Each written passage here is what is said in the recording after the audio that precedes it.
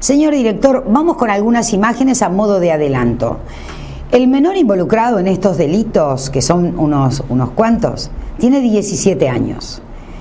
Si bien no existe el prontuario en los menores de edad, sí se puede hablar de antecedentes interesantes, interesantes obviamente entre comillas.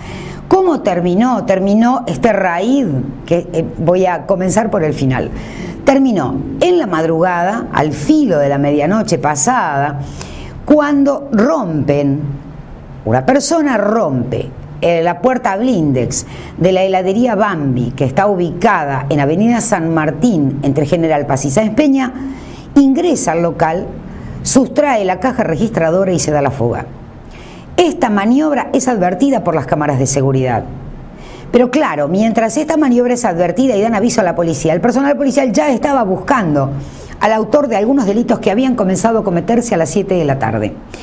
Les vamos a contar este raíz en un ratito nada más y qué es lo que ha ocurrido en la presente jornada donde tenemos entendido el fiscal del Fuero de Responsabilidad Penal Juvenil, el doctor José Albite Galante, habría ya pedido la detención de este menor de 17 años que por estas horas está a disposición de la justicia, que fue trasladado a fiscalía pasado el mediodía de hoy habría pedido o estaría por pedir la detención de este menor que sería trasladado a un centro eh, especialmente mm, dedicado a casos como este, menor de 17 años, que no es el único delito que ha cometido en principio eh, y veremos qué es lo que resuelve la justicia. Pero queríamos comenzar de esta manera. Es, el rey delictivo se cometió todo en jurisdicción de seccional primera.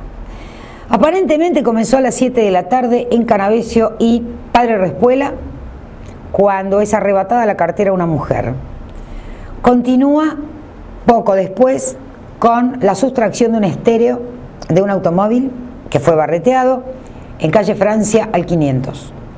No obstante, no obstante, el raid continúa, o si se quiere finaliza, cuando rompen la puerta blindex de la heladería Bambi, sustraen la caja registradora y se dan a la fuga. Acto que es registrado por las cámaras de seguridad que además alerta al personal policial.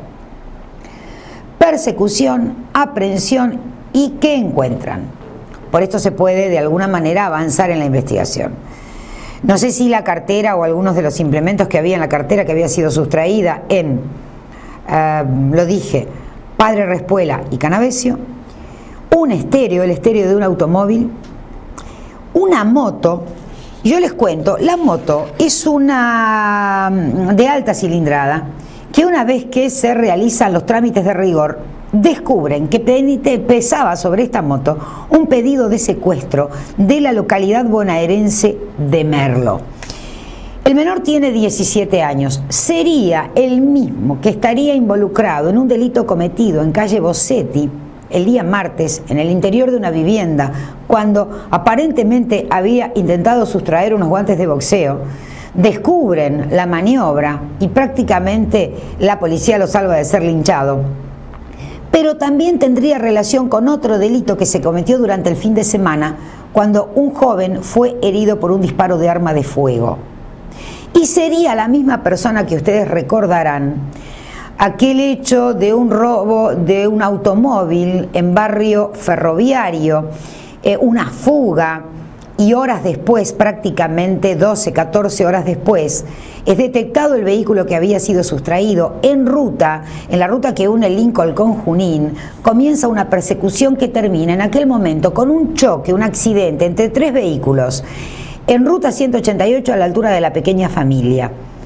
Tres vehículos, digo, un vehículo particular con ocasionales transeúntes, un móvil policial y el vehículo que había sido sustraído, que terminó completamente destruido y en el que viajaban cuatro personas. Una de ellas sería quien por estas horas, en la mañana del día de la fecha, habría sido, sometido a rueda de reconocimiento.